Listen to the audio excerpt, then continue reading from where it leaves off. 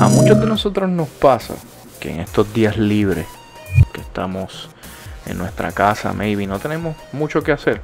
Si tú estás en ese corillo, este video es para ti. Hoy vamos a estar hablando de The Witcher, que ya está disponible en Netflix. Yo me imagino que ya ustedes saben que es The Witcher. Yo me imagino que conocen los libros, que son cinco. Yo me imagino que conocen los videojuegos que todos hemos disfrutado hasta el momento. Pero hoy vamos a concentrarnos específicamente en la serie, en lo que todo el mundo está hablando. Tengo que admitir que al principio, cuando supe que Henry Calvin iba a ser el actor principal de la serie, tuve mis dudas. Yo, en lo personal, no considero que él sea tan buen actor, pero realmente el papel que está haciendo de Gerald en esta serie está genial. Otra de las preguntas que en el internet ha surgido desde el estreno de The Witcher es, ¿realmente The Witcher se parece a Game of Thrones? En mi opinión, realmente no. Aunque sí podemos encontrar algunas escenas, maybe algunos vestuarios, eh, maybe colores en la edición que sean bien parecidos a la serie, para mí son dos cosas totalmente diferentes. Game of Thrones eh, podrá tener cosas parecidas, pero yo creo que no va a existir algo como Game of Thrones.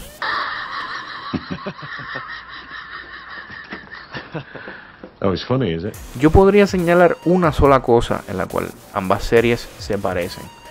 Realmente no lo voy a mencionar aquí, quiero que me comenten abajo y me digan si ustedes saben a qué me refiero.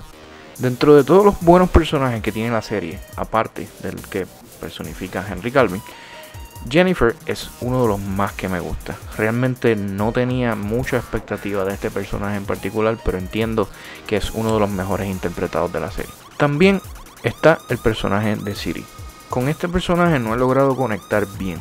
Obviamente estamos en un primer season, eh, aunque sí, el personaje de ella tiene mucho que ver con el desarrollo de la serie, con el personaje de, que interpreta Henry Calvin y pues, técnicamente es el segundo personaje más importante.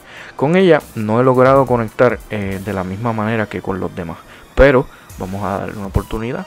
Solamente estamos en un primer season en resumen, realmente esta serie em, comencé a verla sin ninguna expectativa y me he quedado viéndola desde su estreno.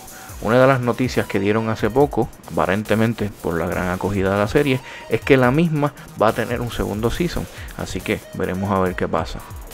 Nuestro veredicto a este momento y en esta fecha es 9 de 10. Y les voy a decir el por qué. Realmente como les mencioné. Yo comencé a ver esta serie sin ninguna expectativa. Sin embargo, la serie logró sorprenderme. No solamente eso, logró dejarme juqueado con ella desde el primer episodio, algo que no es muy normal en mí, ya que tiene que ser una serie sumamente interesante o con una historia bastante cautivadora para que eso ocurra. Así que si te encuentras en tu casa y no tienes nada que hacer y estás buscando algo que hacer en Netflix, ver The Witcher es una opción. Cuéntenos en los comentarios qué piensan de la serie. ¿Les gusta? ¿Les gustan las actuaciones? ¿Les gustan los escenarios? ¿Realmente piensan que se parece a Game of Thrones?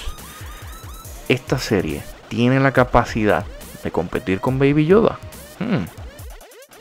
Hasta aquí nuestro review de The Witcher. Hasta la próxima.